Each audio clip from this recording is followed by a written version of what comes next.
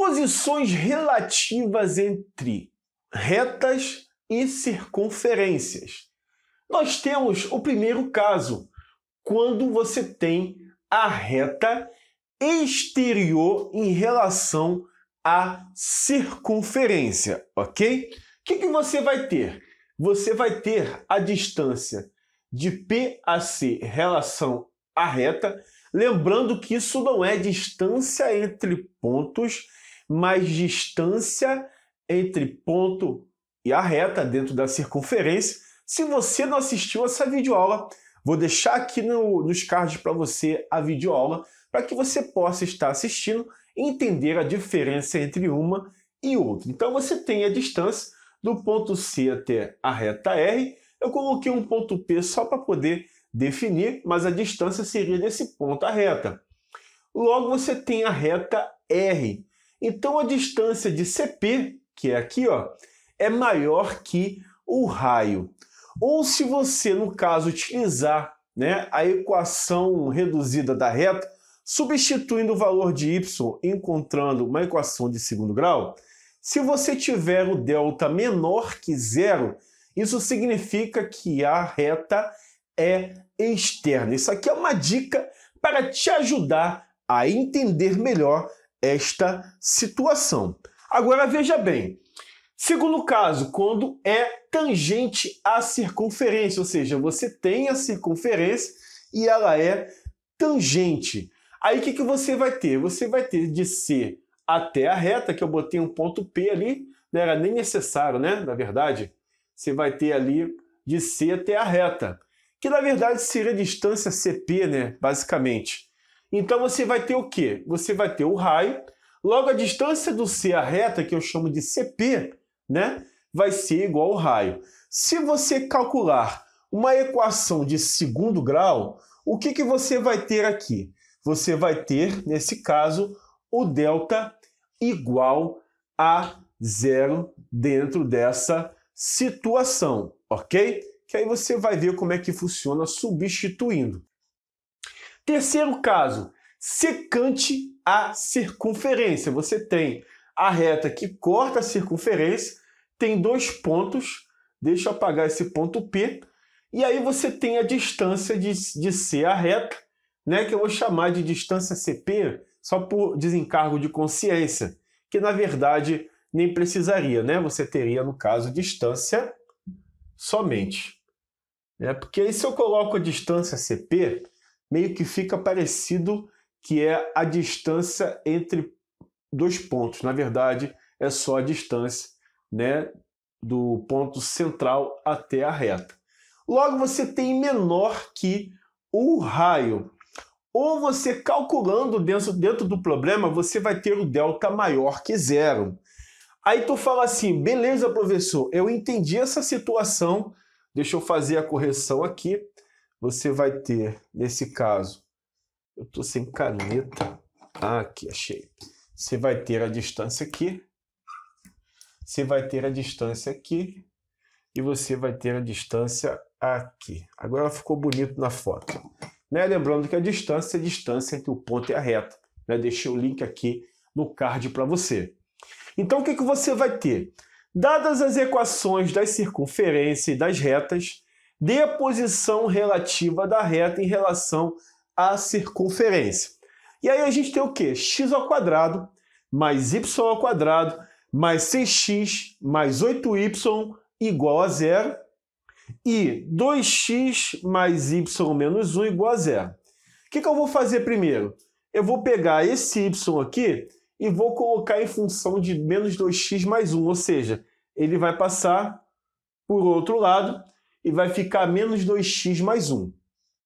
Feito isso, eu tenho a equação geral da circunferência, aonde é y eu substituo por menos 2x mais 1. Ou seja, aqui sendo y, eu substituo por menos 2x mais 1. Aqui ó, no y, eu substituo por menos 2x mais 1. Por quê, professor? Porque eu tinha 2x mais y menos 1 igual a zero.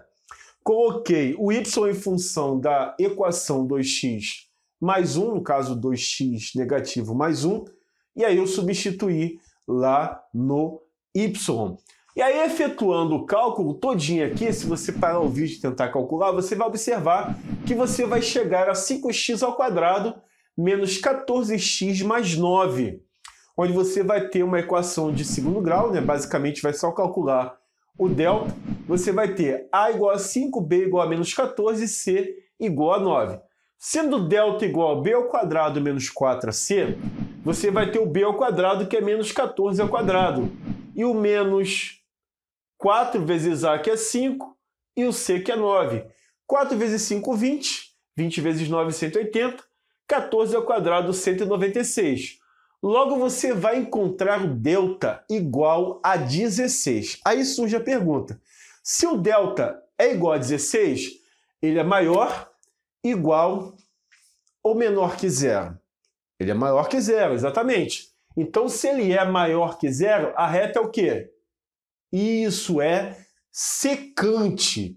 Aí tu fala assim, tá, professor, beleza, entendi até aqui, mas se fosse uma outra situação que eu tivesse somente os centros da circunferência e a equação, aí você calcularia pela distância entre o ponto e a reta, ok? Agora veja aqui, você tem x menos 1 ao quadrado mais y menos 1 ao quadrado igual a 5.